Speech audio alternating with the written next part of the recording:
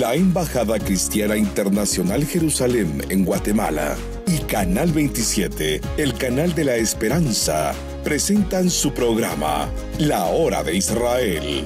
A partir de este momento, disfrutará de un interesante contenido que le llevará a conocer más de la nación elegida por Dios. La Hora de Israel.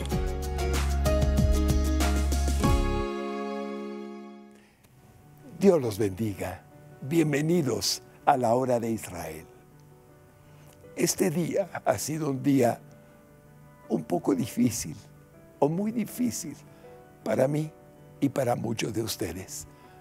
La mayoría probablemente está viendo por primera vez las escenas terribles del holocausto. Pero de qué otra manera podemos el decir nunca más, sino es recordando lo que aconteció al pueblo elegido por Dios, el pueblo judío, en el tiempo en que padeció semejante atrocidad. Por ello, hoy vamos a tener un programa para hablar del holocausto y de temas que tienen que ver alrededor del mismo. Pero he invitado a dos personas, líderes de la comunidad judía, de Guatemala. Y ellos mismos me han permitido mi corazón sentir que deben de presentarse primero a ustedes en vez de que yo les lea, como es costumbre, un breve currículum de cada uno. Por lo tanto, voy a entrar en materia.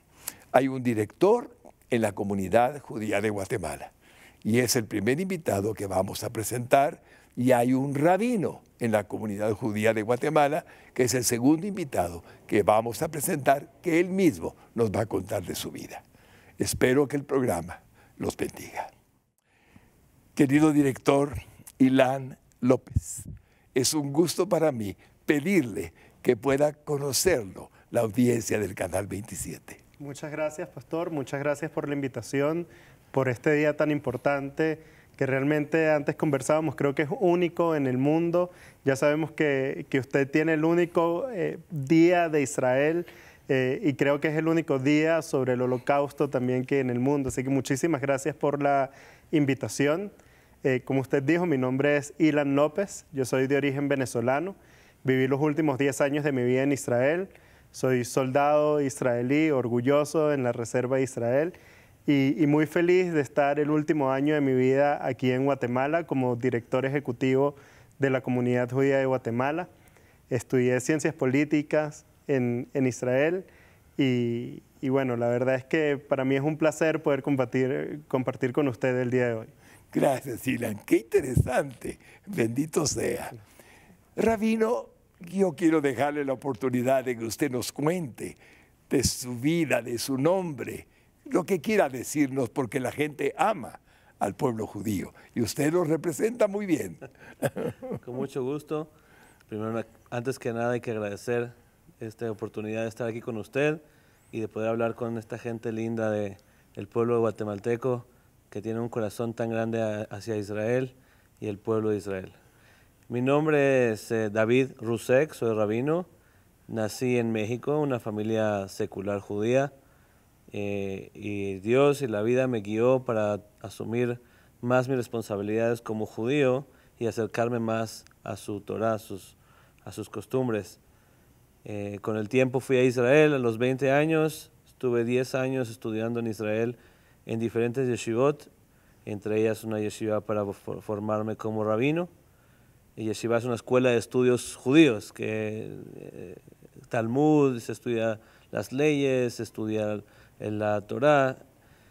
Y después de esto fuimos a Costa Rica, seis años rabino en Costa Rica, eh, rabino asistente de la comunidad, y seis meses en Panamá, y gracias a Dios, de Panamá me trajeron a Guatemala, donde asumí mis, mis responsabilidades en la comunidad hace un año atrás. Excelente. Bienvenido, Rabino. Nos sentimos muy contentos de que estén ambos con nosotros en este programa. El tema que vamos a abordar es el del holocausto y le he pedido a cada uno de ellos que nos haga un enfoque, porque nunca dejaremos de hablar del holocausto. Cada vez que hablamos de ese tema hay miles de miles de miles de personas que tienen memoria de sus familiares, de sus antepasados, y han sufrido, muchos, la vivencia de estar en un campo de concentración o en un campo de exterminio y ser sobrevivientes. Por ello vamos a entrar primero con nuestro querido Ilan López para que nos cuente un poco de su historia o de la historia del holocausto en la familia. Por favor, Ilan. Muchas gracias, pastor. Y sí, lamentablemente el holocausto es un tema propio, es un tema familiar que casi todas las familias judías del mundo comparten. Eh, y mi caso no es una excepción. En mi, familia, mi abuela es sobreviviente del holocausto, aunque ella, si me escucha ahorita, va, va a negarlo porque nunca se vio como una víctima. Eh, ellos escaparon antes del holocausto, entonces siempre se sentía muy molesta de que yo dijera que ella es sobreviviente del holocausto. Pero la verdad es que, justamente como usted dijo, este es un tema tan abstracto, tan profundo, que, es imposible incluso definir quién es sobreviviente, quién fue víctima.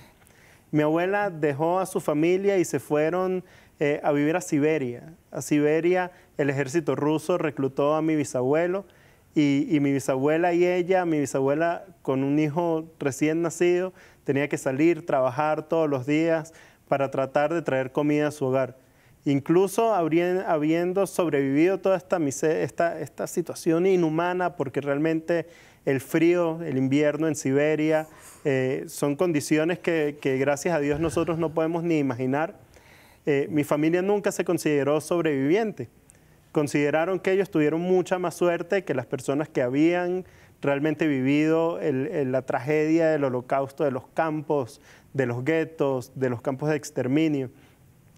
Eh, pero realmente yo siempre, siempre crecí con el holocausto como parte de mi historia. Y, tuve, digamos, la, la, suerte, la dicha de casarme eh, con, con, mi esposa, que también viene de una familia eh, que es sobreviviente del holocausto. Para ella sí el holocausto era una historia mucho más cercana porque su abuela nació en un campo de concentración. Nació. Nació en un campo de concentración. Oh, de hecho, eh, ella dicen que es rusa, pero realmente no era parte de Rusia, era parte de Rumania, donde nació. Eh, en aquellos momentos de la guerra, eh, la, abuela de mi esposa no tiene un acta de nacimiento original. y su historia es realmente una historia que, que muestra o nos deja entender un poco toda esa digamos, esas cosas eh, eh, eh, increíbles que ocurrieron durante el holocausto. Porque ellos se salvaron, porque la bisabuela de mi esposa, Silvia se llama, como mi mamá, además, las casualidades de la vida, estaba con su familia, con su, estaba recién casada, a punto de montarse un tren. Los soldados alemanes los habían mandado a montarse en un tren. Y llegando al vagón, llegando a la estación, un soldado alemán la reconoció. Ellos habían estudiado juntos en el liceo antes de la guerra. Y este soldado alemán estaba perdidamente enamorado de la bisabuela de mi esposa. Y le dijo, Silvia, no te puedes montar en este tren. Este tren va a un lugar del que no hay retorno. Y le dice, pero tengo a mis hermanos, tenemos toda mi familia. Le dijo, no, no, no, ustedes se vienen conmigo.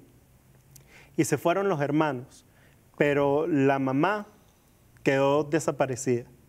Y pasó toda la guerra, su familia este, se escapó, lograron llegar a Israel, vivieron en Israel los años de, la independencia de Israel, luego fueron a Venezuela.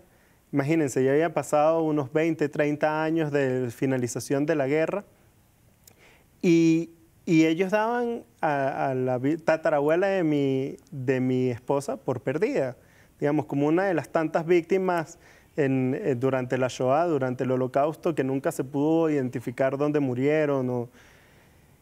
Y de repente un día les llega una carta. Una carta de, de Siberia, de la tatarabuela de mi esposa, que estaba buscando a su hija. Ahora, ¿cómo llega esta carta a Venezuela? Imagínense cuando Dios tiene un plan, eh, no hay nada que se le... No hay nada que, pueda frenar los planes de Dios. Eh, la tatarabuela de mi esposa no había perdido la fe en recuperar a su familia. Entonces ella siempre mandaba cartas a su dirección original en Europa. Ella no sabía que había ocurrido la guerra, no sabía que sus hijos no viven ahí. Para ella se la llevaron y tuvo una desconexión total, no supo lo que ocurrió en, en Europa Y ella siempre mandaba cartas. Y mandaba cartas, parece que me cuentan que tenía una caligrafía muy bonita, de letras góticas, este, muy, muy bonitas. Y la persona en, el, en, el, en, el, en los mensajeros veían la acumulación de cartas que devolvían porque nadie las recibía en la dirección y que eran muy bellas y un día deciden abrir una. Y la abren y ven que es una mamá que está en Siberia buscando a su hija, buscando a Silvia, Silvia, necesito tu ayuda, necesito, este, no tenemos comida, por favor traten de ayudarnos. Y esta persona no judía en Europa eh, trabajaba con alguien que había sido contrabandista durante la guerra. Y por casualidad un día le pregunté, mire, usted no, no conocerá a una, a una Silvia. Y le dice, claro, Silvia Klugerman era mi vecina. Oh, Señor. El señor se pone a dar vueltas a ver a dónde había terminado Silvia Klugerman después de la guerra y encuentra el rastro y llega a Venezuela. Y gracias a esta persona, pues se logran poner en contacto, imagínense, la bisabuela de mi esposa con su mamá que daba por muerta hace 30 años. Y empieza un proceso muy difícil porque en la época de la Unión Soviética, eh, Siberia se había vuelto un, lugar para prisioneros, no los dejaban liberar. Eh, de hecho, hay historias muy interesantes sobre los refusnik, los judíos que querían hacer alianza en la Unión Soviética y no lo permitían. Y empieza un proceso para poder sacar a la tatarabuela de mi esposa de Siberia y llevarla a Venezuela, que gracias a Dios termina con un resultado positivo. Logran reunir a la familia, vivir todavía un par de años en Venezuela, eh, tratar de, curar un poco todas esas cicatrices imposibles de curar que deja la guerra. Pero para mí esta es la historia de, de millones de familias, no es una historia única, es la historia de esos reencuentros después de la guerra de hermanos que pensaron que se habían perdido el uno al otro, de familias que habían quedado destruidas, pero que nunca perdieron la fe, de tratar de recuperar lo que el nazismo nos trató de robar en aquel momento, que era mucho más allá de la vida. La vida es, digamos, es, un poquito de lo que perdimos en el holocausto, pero la dignidad, la dignidad humana, las ganas de vivir, la fe, la identidad que tenemos como pueblo de Israel, como pueblo judío. Y yo creo que la historia de, la familia de mi esposa es justamente un ejemplo de cómo alguien, un sobreviviente un día me dijo, la mejor venganza o la venganza más fuerte que tenemos contra los nazis es seguir vivos, es tener familia, es estar orgulloso de quienes, somos, de quienes somos, del Estado de Israel, de nuestro judaísmo. Así que yo creo que esta es una de las tantas de los millones de historias que reflejan eso. Es conmovedor, Ilan.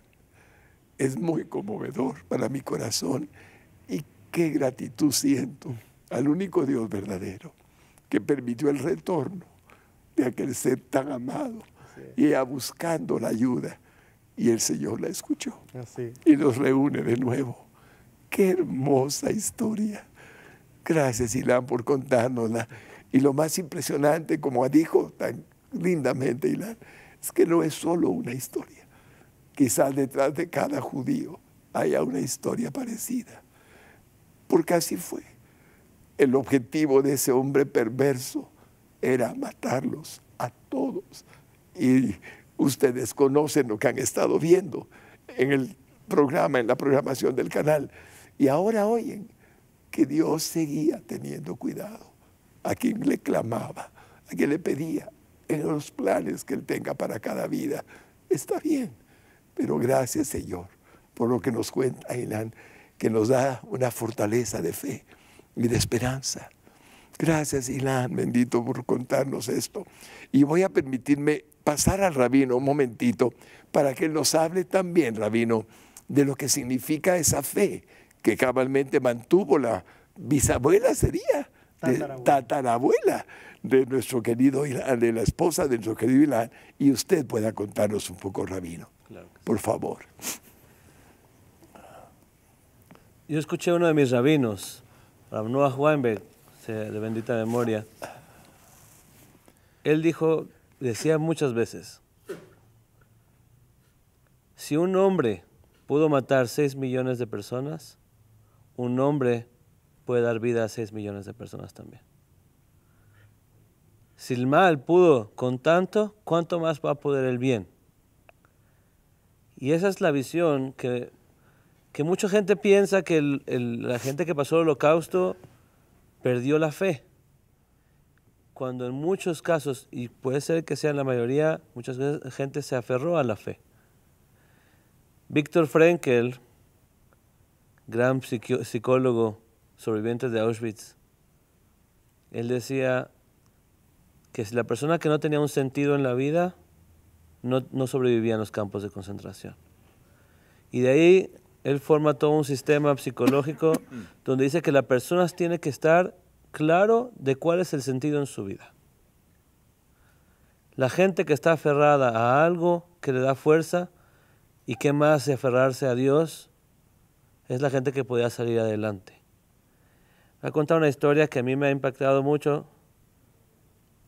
Había un, eh, un, rabino en, en Estados Unidos que rezaba con mucha fuerza, más de lo normal, gritaba a la hora de rezar en, en los rezos.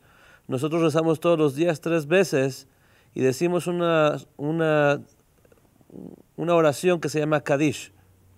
Y el Kadish se dice para recuerdo a las personas que fallecieron.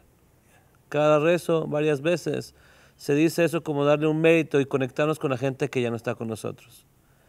Y cada vez que decían el Kadish en su sinagoga, él gritaba con toda su fuerza amén. Amén, amén. Más de lo normal. Un señor ya mayor. Con él se acercó Rav Pesach Kron, rabino con- conocido en Estados Unidos. Perdón que, me, que le pregunte, pero ¿por qué tanto énfasis en su, en su Kadish, en su amén y en, su- en sus oraciones? ¿Qué historia tiene usted que contar? El Señor le dice, yo estuve en un campo de exterminio. Y hay un versículo que dice, Yeshuat Hashem que Erefaim. Significa, la salvación de Dios es un parpadeo. La salvación de Dios es un parpadeo. Y él estando en el campo de exterminio, caminando y por todos lados decía, la salvación de Hashem es un, parpadeo, es un parpadeo, la salvación de Dios es un parpadeo, un abrir y cerrar de ojos. Tanto lo decía que la gente le puso ese apodo, la salvación de Hashem. ¿Cómo está la salvación de Hashem hoy? Y ese era su apodo, así le decían a él. Pero lo decían en burla. Estaba en la fila para entrar a las cámaras de gas y se voltea un compañero de él y le dice, ¿dónde está la salvación de Dios en un parpadeo? Mira dónde estamos parados. La respuesta de este señor fue, la salvación de Dios es un parpadeo. Entrando a, la- a las cámaras, pasa el compañero de él la puerta se está cerrando y le dicen, tú ya no cabes, tú ya no puedes entrar. Mientras la puerta se cerraba, su compañero le dice, reza por mí. Tú que te salvaste, pide por mí. Y así fue. Él se salvó y durante toda su vida, decenas de años que él vivió con salud, cada vez que tenía la oportunidad de rezar diariamente, tres veces al día, él decía ese Kadish con toda su fuerza por su compañero que dio ese paso adentro y por la salvación de Dios que fue en un parpadeo. Qué hermosa historia. Eso es, Qué hermosa, Rabino. Para darles una idea, solo para ubicarnos, podían matar simultáneamente a 1.500 judíos en Auschwitz-Birkenau en una sola vez. Los metían dentro de una falsa idea de un baño, de una ducha, y ahí estaban desnudos todos aquellos que iban a matar con el gas ciclón que caería sobre ellos. ¿Pueden imaginar esa fila? Y pueden imaginar a ese varón que le decía siempre a Dios, amén, con toda su alma, como el rabino nos lo cuenta. En la fila ya no hay espacio. Solo voy a imaginar que estaban en Auschwitz, en la región donde estaban los crematorios y tanta horripilante historia de la humanidad. Y ahí la puerta se cerró, no caben más. Pueden ver a Dios, pueden ver a una fe manteniéndose en la posición de que en un solo parpadeo está Dios para salvarnos. Es conmovedora la historia, pero sobre todo cuando entendemos de que estamos hablando, no se trata de un grupito de personas, son 1500 simultáneamente. Esa es la historia que hemos estado transmitiendo en el canal y es la historia que nunca debemos de dejar de conocer y no olvidar para que nunca se repita semejante historia. Rabino, no quise interrumpirlo, pero me conmovió porque recordé lo que he podido ver, estudiar, leer con respecto a lo que fue el holocausto. Y puedo ahora comprender la impresionante actitud de un hombre agradecido con el Todopoderoso, el único Dios verdadero, diciéndole, amén, amén.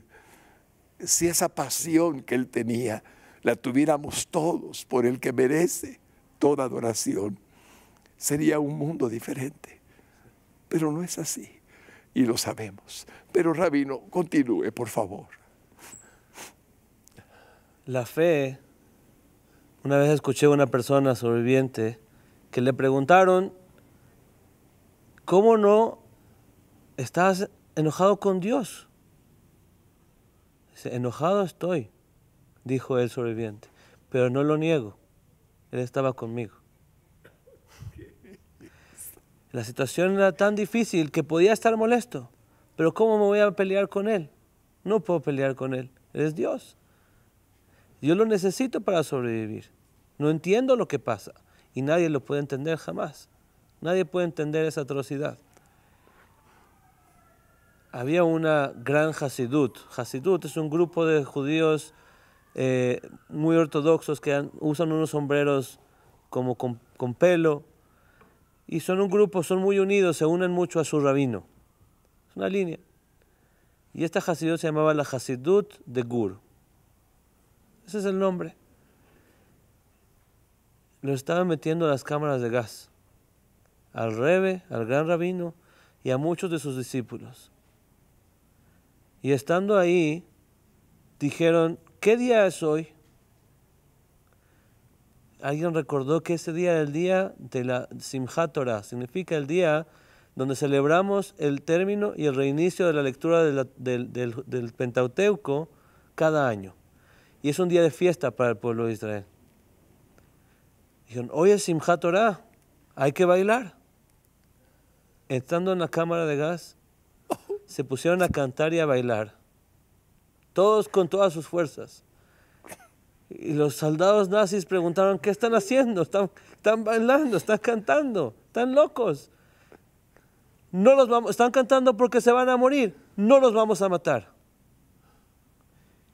Y cancelaron el, el gas y sacaron a todos de la cámara. No les vamos a dar el gusto de morir. Y así se salvó toda esta Hasidut. Qué impresionante increíble la fe, oh. el amor. No vamos a perder la conexión con Dios, con, con su Torah, con su Biblia, hasta el último instante, bailar de la alegría de que somos parte del pueblo elegido. Para mí, esas historias son tan conmovedoras y demuestran que la fe no se pierde inclusive en los momentos más difíciles. Obviamente cada persona tiene sus pruebas y me dijo un rabino una vez, Rav Steinman, gran rabino de Israel, decía así, si uno ve a una persona que sobrevivió el holocausto, tiene que pedirle una bendición. Una persona que sobrevivió el holocausto y tiene fe, es un, es un santo y se le tiene que pedir bendición. Impresionante. Lo que ha dicho Rabino, podemos aplicarlo en el año de adoración, un año de adoración que el canal ha estado desde que nació el 1 de enero en nuestro calendario gregoriano. Vemos que pusimos un año de adoración, pero cuando él ha dicho que los judíos en la cámara de gas se pusieron a danzar, a bailar, porque era el día en el que comenzaban con Génesis para terminar en Deuteronomio, los cinco libros del Pentateuco. Y los nazis los ven y no quieren que mueran con gozo. Puedo interpretarlo de esa manera. Están locos. No les vamos a dar gusto, no se van a morir. ¿Quién estaba detrás para evitar que los mataran? ¿A quién estaban adorando? Por ser en su fe el reinicio de leer su palabra sagrada. Y en un año de adoración que el canal ha estado tratando de invitarlos a adorar al único Dios verdadero, al Dios de Abraham, de Isaac y de Jacob, a nuestro Salvador, por supuesto, porque somos cristianos. Ven el significado que tiene adorar en medio de la prueba. Es un significado que va más allá de lo que el hombre pueda imaginar en su mente. En medio del dolor, en medio de la dificultad, en medio de la persecución, en medio de lo que sea. Adoremos a Dios. Eso ha hecho Rabino. Ha provocado en mí un sentimiento de gratitud. Porque he tratado de que este año adoremos al único Dios verdadero en cualquier circunstancia, en cualquier momento, no importa cuál sea. Él merece nuestra adoración, es digno de adoración, es el único al que debemos de adorar. Por lo tanto, esta historia no la voy a olvidar jamás. Y la ha transmitido a alguien que la ha experimentado, que la conoce. Y valoro mucho lo que nos ha dado, Rabino, a nosotros como cristianos y al pueblo de Guatemala en general, para enseñarnos algo. Él siempre está viendo lo que hacemos y Él nos recompensará como Él quiera. O no, es su voluntad, porque aún la muerte, cuando es morimos en Él, tiene una razón y un sentido. El que no sabe para qué o por qué debe morir, no sabe para qué está viviendo. Entonces, creo que lo que estamos oyendo nos da fortaleza, nos da ánimo. Y en medio de tantas bendiciones que estamos recibiendo, quiero que sigan oyendo a quien nos está bendiciendo. Por favor, Rabino, cuéntenos algo más, lo que sienta en su corazón.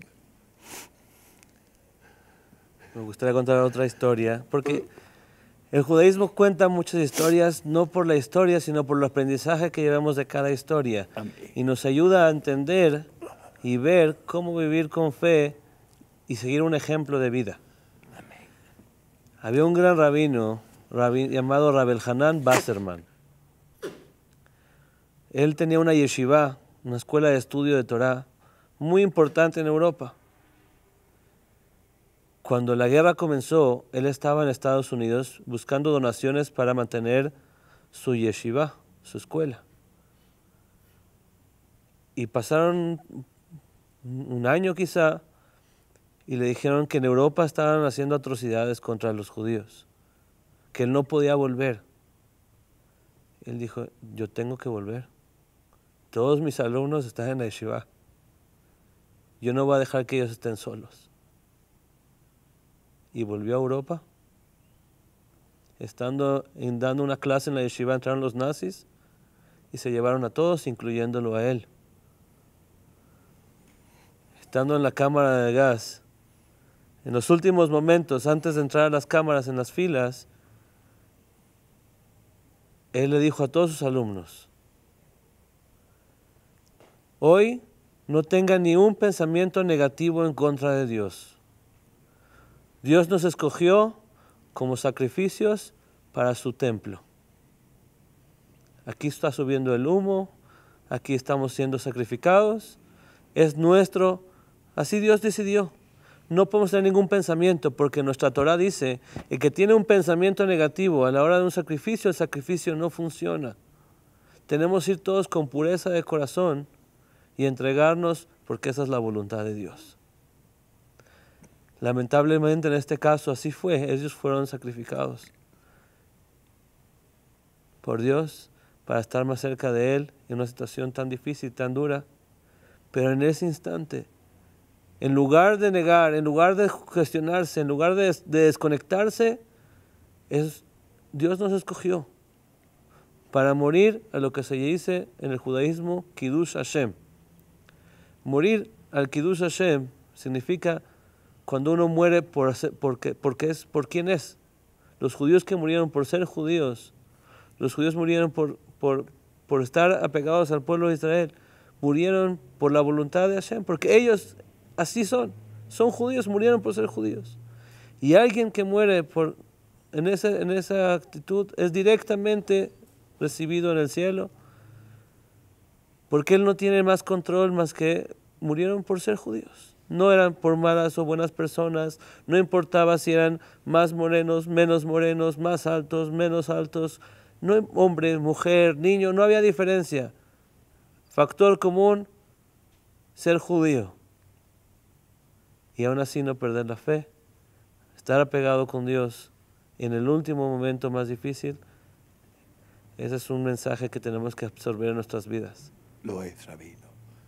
Y gracias por compartirnoslo, porque aumenta nuestra fe, también la aumenta. Y gracias de verdad. Yo estoy seguro que el programa que están viendo ahora les motiva a tener más confianza y dependencia de la omnipresencia de un Dios verdadero. Él está en todo lugar. Y sus planes para nuestra vida siempre se cumplirán, incluyendo nuestra muerte, cuando Él quiera, como Él quiera. La muerte y la vida son de Él. Así es que me puedo sentir agradecido de que nuestro querido invitado pueda decirnos como rabino, con su autoridad espiritual, en lo que significa su fe judía, a la que respetamos y bendecimos, cómo es la fe verdadera, probada en el momento en que Dios nos permite ser probados. Le animo a que considere que la prueba que tenga no es ajena al amor que Dios tiene por usted. No lo es. Solo agradezcale a Él lo que Él quiere hacer, porque lo ama.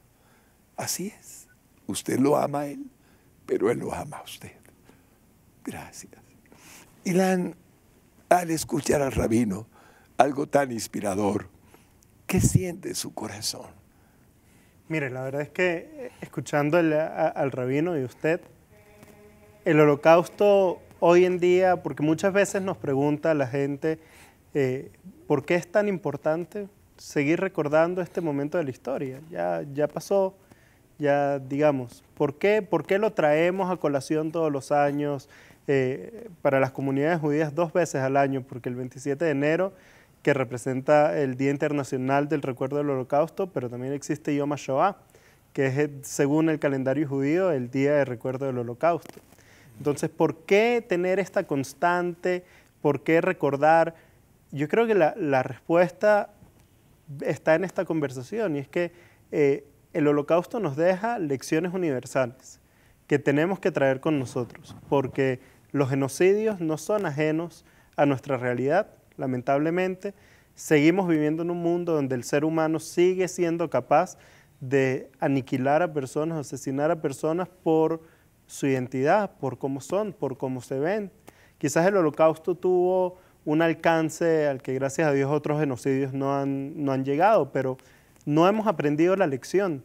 Creo que mucha de esa lección es justamente el tema de nuestra fe, nuestra identidad, cómo asumir eh, los obstáculos que nos presenta la vida, pero también cómo ser tolerantes con el otro. Y, y yo, por ejemplo, como venezolano, lamentablemente viví la intolerancia Obviamente no se puede este, comparar con lo que vivieron mis antepasados en Europa, eh, pero Venezuela fue un país que persiguió o acusó a la comunidad judía durante muchos años. Fue un país donde el presidente en aquel momento del país se volvió la figura pública eh, antisemita de Latinoamérica, trayendo acá una corriente que, es ajena a la naturaleza del latino. El latino es una persona muy eh, muy receptiva, eh, que ama mucho a, los demás, muy de sociedad.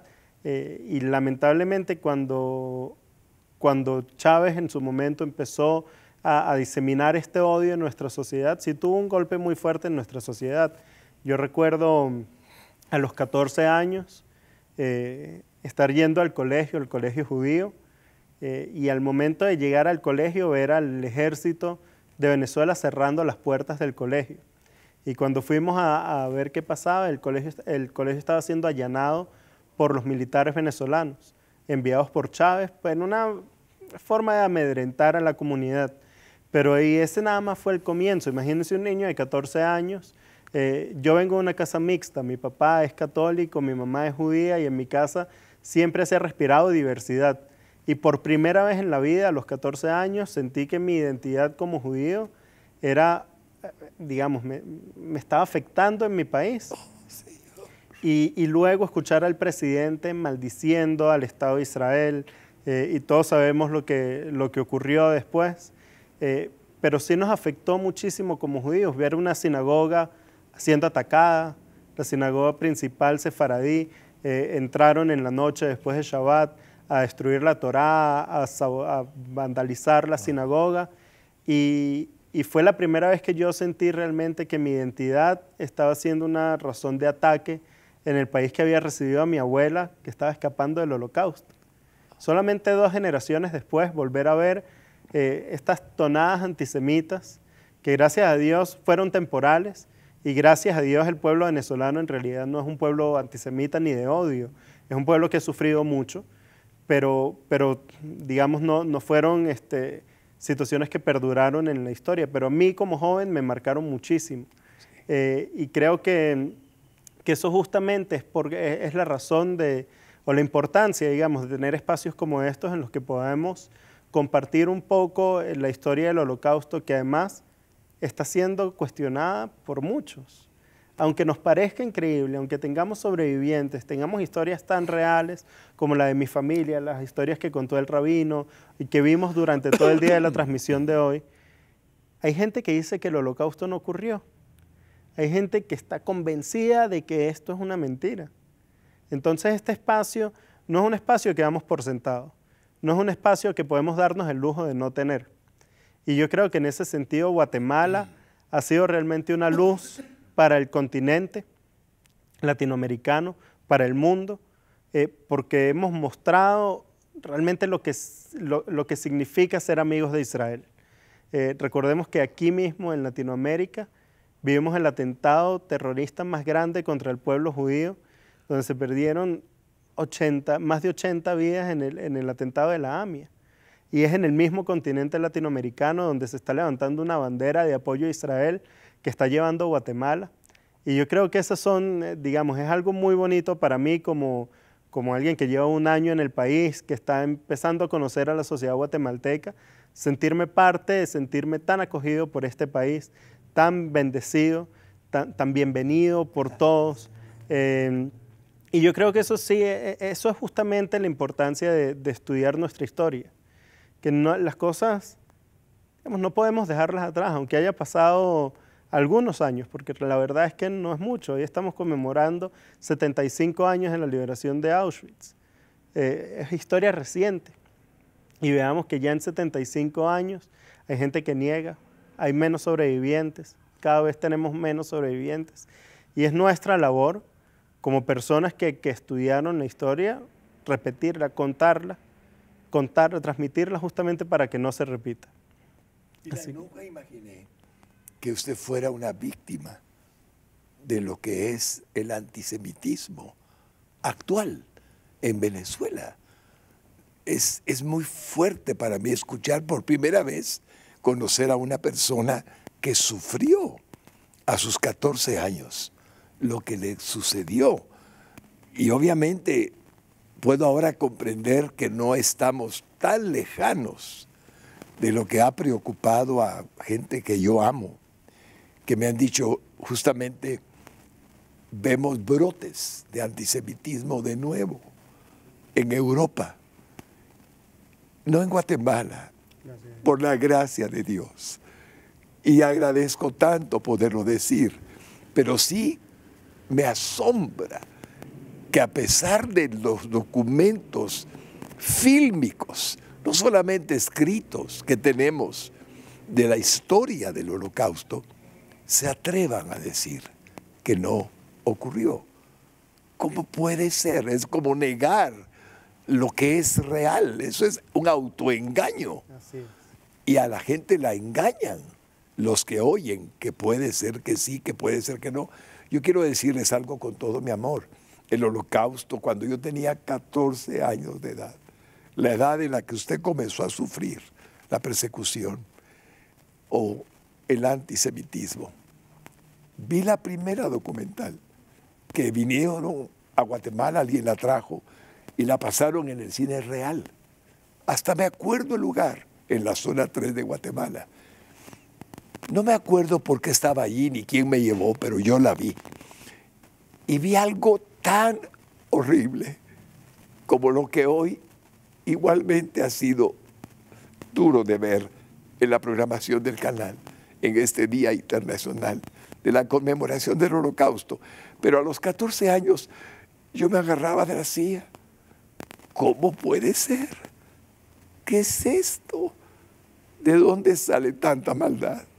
¿De dónde sale tanto, tanto cruel hombre tratando a los niños, pateándolos, haciendo horrores a la gente, solo por el hecho de ser judíos?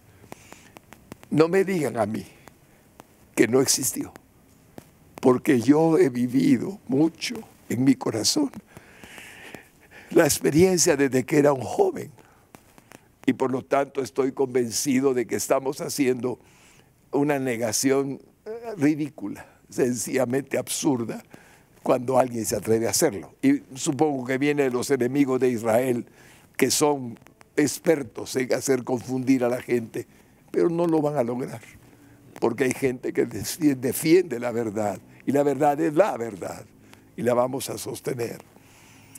Pero solo quería decirle, Ilan, que me, me sorprende lo que vivió. Y doy gracias a Dios que aquí tiene un ambiente pro-Israel, que amamos a los judíos. Y yo creo, pastor, que la única forma de que los malos ganen es si los buenos nos quedamos callados, ¿verdad? Y, y eso fue lo que ocurrió en el holocausto. Eso fue lo que quizás está ocurriendo un poco en Europa lo que quizás está ocurriendo un poco en, países vecinos, en Estados Unidos, con el resurgir del antisemitismo. Vemos cómo hubo matanzas en sinagogas este año, el año pasado. Eh, y creo que la labor que ustedes están haciendo, usted con el Canal 27 y en Guatemala, el pueblo guatemalteco, de ser vocales por la verdad, por la justicia, creo que es lo que ha impedido que aquí llegue, llegue el mal.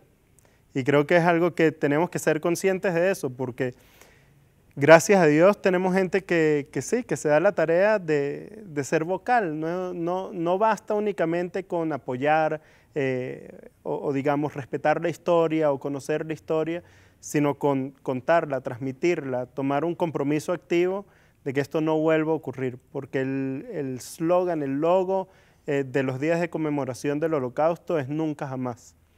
Y ese es el slogan por una razón. Y es que realmente esto puede volver a ocurrir. Si nos quedamos callados, Dios no lo quiera, esto puede volver a ocurrir. Y si no es con los judíos, pues es con otros pueblos. Y ya lo estamos viendo. Y había un, poema, eh, creo que era de un, de un ruso, que decía, al principio vinieron por los católicos y como no era conmigo, no hice nada. Después vinieron por los comunistas y como no era conmigo, no hice nada. Vinieron por los negros y como no era conmigo, no hice nada. Se llevaron a los judíos y como no era conmigo, no hice nada. Y cuando vinieron por mí, ya no había nadie que me defendiera. Y es así. Todos estamos en este mundo y somos hermanos y responsables uno del otro. Y si no somos, si fallamos en esa responsabilidad, pues el día que necesitemos la ayuda de los demás, vamos a estar solos. Entonces yo creo que eso es un mensaje que, lamentablemente el holocausto nos enseña con una claridad impresionante eh, y que no podemos desperdiciar, que tenemos que, tener muy presente en todo lo que hacemos todos los días y en, en todos los aspectos. Amén. Muy cierto, Ilan. Gracias por decírnoslo. Y esa historia es muy importante. No se trata de que yo no soy judío. No, Se trata de que debo de preocuparme por lo que le hagan al pueblo judío. Pueden hacerlo también al cristiano. De hecho, lo han hecho ya en algunos países, como ustedes saben. Ha habido persecución contra el cristianismo también. Pero ahora estamos hablando del tema del holocausto, que es lo que nos compete.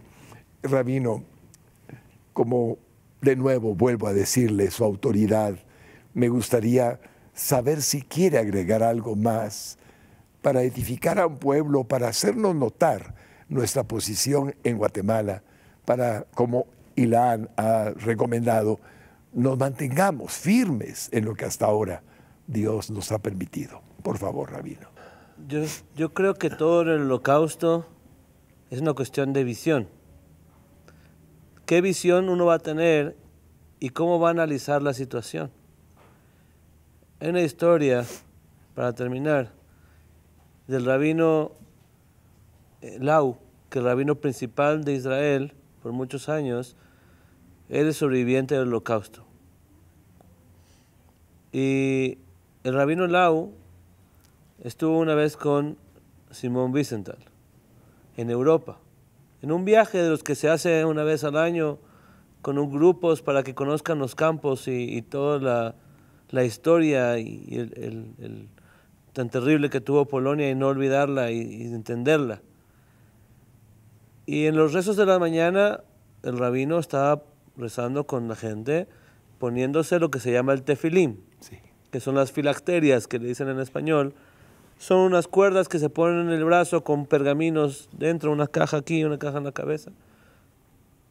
Y se da cuenta que Simón no se pone tefilim. Él también sobreviviente del holocausto. Y el rabino le pregunta, eran amigos, ¿por qué no te pones tefilín? ¿Por qué no rezas? Yo estuve en un campo de concentración, dijo él, y yo vi como un judío pedía comida a los demás para prestar su tefilín. La gente hacía fila y le daba su comida para poder rezar. El rabino Lau lo tomó la mano y le dijo, Tú estás viendo a ese judío que negociaba con su tefilín y no estás viendo toda la gente que hacía fila para poder rezar. A partir de ese día, hasta el día de su muerte, se puso tefilín, rezó todos los días. Simón Vicente. Porque el holocausto es una cuestión de perspectiva. Cuando en las situaciones difíciles uno puede escaparse y negar y alejarse de la fe, uno puede dar la vuelta en la cuestión de la perspectiva y ver y acercarse a la fe, acercarse a Dios dentro de las dificultades, ver luz. La luz dentro de la oscuridad es la que nos ilumina, es la que más ilumina. Un cuarto con mucha luz prendo un, un foco, no, no va a iluminar. Pero en un cuarto donde no hay luz, prendo una luz, ¿cuánto ilumina? La luz en la oscuridad a veces es la que más fuerza nos da y más nos acerca a Dios. No hay que pedir momentos difíciles, Dios nos guarde de esos momentos. Pero si uno está así, en esos momentos difíciles, es cuando más uno debe buscar la luz de Dios en la vida. Y esa es, esa es la cuestión más importante para mí en perspectiva del holocausto. Muchas veces perdemos la fe, perdemos las cosas en situaciones difíciles, nos alejamos, no queremos orar más, no queremos estar cerca. Cuando al revés, necesitas en quién abrazar, un niño se pierde, se enoja con el papá, se escapa y se va al, parque, se esconde en el parque y cuando se da cuenta que está solo, ¿qué hace? Corre, llora, grita, papá, papá, ¿dónde estás? Y cuando se acerca, a pesar de que antes se, se, peleó con él y se escapó, corre y le da un abrazo. Es una cuestión de perspectiva. En los momentos difíciles te vas a escapar o vas a darle un abrazo a tu padre. Vas a quererlo abrazar de nuevo, darle un beso y estar cerca de él. Y eso es lo que tenemos que entender en las situaciones difíciles, en el holocausto. No, escuchando estas historias uno no debe alejarse, sino por el contrario, acercarse a la fe, acercarse a Dios y cambiar la perspectiva en las cosas. Por lo menos estamos vivos, podemos ser libres, no nos persiguen por lo que creemos, no nos persiguen por quién somos. Aquí en Guatemala es una bendición. Tenemos que ser fuertes con esa decisión, fuertes con esa esencia, con esa lucha que tiene el pueblo guatemalteco de, de identidad, de saber quién es y no dejarse llevar por lo que el mundo y los medios nos hacen querer creer, tratar de engañarnos de que el holocausto no existe, cuando tenemos gente en la familia con número en, el brazo, que lo van a hacer por placer, un tatuaje, donde la persona en lugar de nombre se convierte en un número. O nos vamos a pegar a Dios y, reconocer la verdad. Y por medio de la verdad y el amor, no el odio, el amor es el que va a recordar el, holocausto. La, la, búsqueda de la paz y del amor. Como dijo Ilan, y así dijo Rebe de Viale, en las cámaras de gas encontró que estaba con una uña, escrito la palabra venganza. Alguien en su desesperación con las uñas hizo un hoyo en la pared. Dijo el Rebe, ¿cuál es nuestra venganza? Que yo estoy aquí que yo tengo hijos, que podemos continuar y que podemos seguir adelante y que hemos crecido y tenemos la tierra de Israel, el Estado de Israel. Podemos ser libres, podemos ser judíos y no tener miedo de quiénes somos. ¿Dónde están los nazis? ¿Dónde está el pueblo de Israel? Que ese es el mensaje y la cuestión de perspectiva que tenemos que tener en este día tan, tan difícil. Gracias, Rabí. Muchas gracias. Gracias. Tal vez Ilan y usted no sepan, Rabino, no lo sé. En Haifa, la embajada cristiana tiene una casa muy grande con 70 sobrevivientes del holocausto. No nos caben más por presupuesto, pero a la medida que va cada uno de ellos partiendo por la edad, estamos atrayendo a alguien más que pueda necesitar estar ahí. Reciben atención médica, reciben entretenimiento, todos los cuidados, su alimentación, su dormitorio. Y cuando yo visité por primera vez esa casa, me sentí tan agradecido de ver a personas marcadas con el número, sonriendo diciendo, estoy viva, estoy vivo, aquí estoy. Y hablando en el idioma hebreo, en el idioma que ellos tenían originalmente. Alguien interpretaba, nos daba una interpretación. Y quiero decirles que la Embajada Cristiana, Rabino Eilan, hacemos algo, poquito, realmente es poquito. Con la Aliyah ya hemos traído más de mil, no sé cuántos miles de judíos de Rusia, de Etiopía, de varios lugares. Y también esa casa en especial, cuando nos reporta que ya partió fulano, que ya partió Mengano, ya los hemos reconocido. Y nos bendice tanto apoyarlos. Y eso es parte de lo que puedo dar testimonio personalmente, que ellos nos han contado sus historias y son tremendamente fuertes. Y ahí hay gente que era niña, niños, porque ahora son grandes, ya mayores, pero eran niños. Vieron a sus padres irse y no verlos más en uno de los vagones donde los sacaban hacia Auschwitz-Birkenau. Yo creo que, o a cualquier campo de concentración entre los 27 campos de exterminio que hubo en, diferentes partes de Europa. Pero creo que es importante contárselos para decirles algo. La embajada cristiana y los cristianos siempre los hemos amado. Y la razón está en la Biblia, Rabino. Y la, hoy entrevisté a su esposa, respetable esposa, y a la vicepresidente de la comunidad, vicepresidenta de la comunidad, y le digo, para un cristiano es fácil amar al pueblo judío. No solo por la promesa del capítulo 12 del libro de Génesis, bendecirá al que te bendijere. No, porque toda la historia de la cristiandad se basa en esos libros que escribieron judíos inspirados por Dios. Tenemos, a diferencia de ustedes que tienen 39 libros, rabino, nosotros tenemos 27 más, que es el Nuevo Testamento, como usted sabe. Pero pueden ahora comprender que el cristianismo que lee la Biblia, la condición es leerla, no solamente ir a la iglesia, sino leer la Biblia. Nos provoca el entendimiento de que hay un Dios que decidió darles esa tierra, Eretz Israel, que Él decidió darnos a través de su pueblo elegido su revelación que está contenida en la Torah, en las Sagradas Escrituras.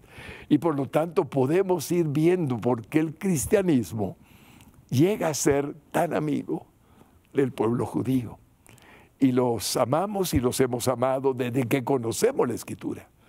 Y les conté en la oficina brevemente que mi primer viaje fue al año de ser convertido y se me abrió el entendimiento respecto al pueblo judío, como no se imaginan, y respecto al Dios de Israel. Gracias por estar aquí. Es un programa muy bendecido, porque aunque no puedo evitar, cuando tocamos el tema del holocausto, nunca he podido derramar dejar de derramar lágrimas. No, no puedo. Toca mi corazón. Este programa lo he sentido con esperanza. Lo he sentido como ánimo a pesar de todo. Israel existe. Y así será, porque hay un destino que Dios decidió para su pueblo y está en la palabra de Dios. Aprecio mucho el tiempo que han dedicado, el trayecto que para venir acá estamos lejos de donde ustedes están, les tomó mucho tiempo, estoy seguro, y les va a tomar más tiempo el regreso, espero que no sea así, pero gracias por estar en este día con nosotros. Y estas puertas de un canal que Dios levantó para gloria de su nombre y por bendición de Guatemala, por favor, están abiertas de par en par para la comunidad judía de Guatemala, para los que aman al único Dios, como hemos dicho en varias ocasiones, porque es el mismo Dios al que nosotros amamos. Gracias por haber venido, que Dios los bendiga, bendiga a su familia, bendiga a su familia, Rabino y que tengan un día de oración. No sé qué harán el lunes, pero nosotros siempre estaremos orando por ustedes. Que Dios los bendiga, es mi ruego y mi súplica al único Dios verdadero. Te adoro, Señor, y te bendigo.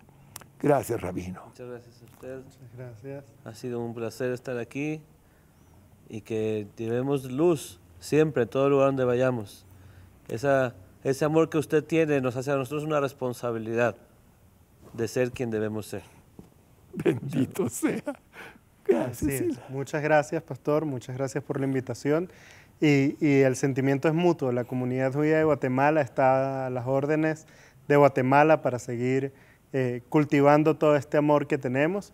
Y, y ojalá podamos ser tan optimistas como los sobrevivientes del holocausto, que justamente, como decía el rabino, viven su vida y usted que conoce sobrevivientes a plenitud, con mucha felicidad, con mucho optimismo, sin rencor y muy claros de que vinimos al mundo a ser bien, así que eso es lo único que tenemos que hacer.